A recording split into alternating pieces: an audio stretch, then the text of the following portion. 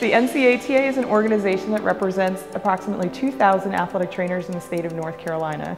Our mission is to make sure that um, we have advocacy for the profession of athletic training, we promote student athlete safety, and the healthcare of active individuals in North Carolina.